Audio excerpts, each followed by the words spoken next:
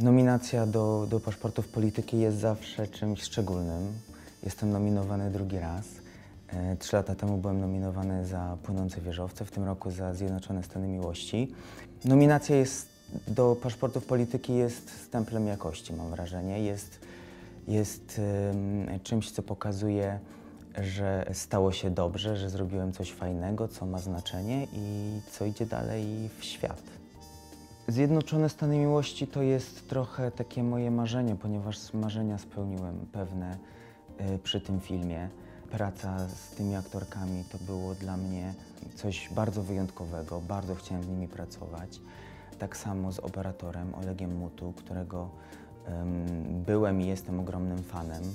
I akurat tak się złożyło, że, że przy tym filmie udało mi się zgromadzić twórców, którzy byli bardzo zawsze szczególni dla mnie, których e, drogę zawodową e, śledziłem od długiego czasu i, i zgodzili się ze mną zrobić ten film i, i, i czuję się ogromnym szczęściarzem pod tym względem.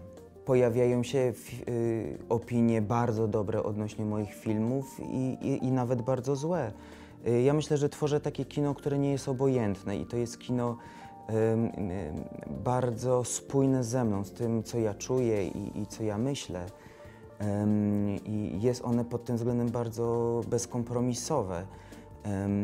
I, ja nie mam osobiście jakoś wielki, wielkiego problemu, jeśli, jeśli słyszę krytykę na, na temat swoich filmów, ponieważ mogę wtedy rozmawiać i tak samo jak ja jestem w stanie krytyk- skrytykować e, sztukę, może nawet nie skrytykować, albo y, swoją wrażliwością ocenić, czy coś mi się podoba, czy nie, tak inni widzowie oceniają to, co ja robię i, i to jest normalne y, w naszym zawodzie i w sztuce.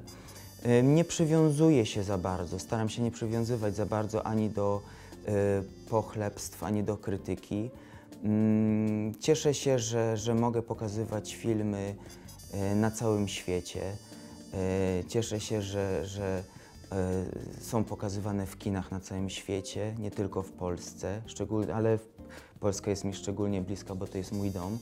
Więc ym, nad tym się zastanawiam tak naprawdę, jak, jak, jak to będzie dalej odbierane, jak to, co, co ludzie będą czuli. Ym, a, a, a jedni, jedni, wydaje mi się, y, poczują emocje moich bohaterów, a inni nie. Ja zawsze myślałem o filmie.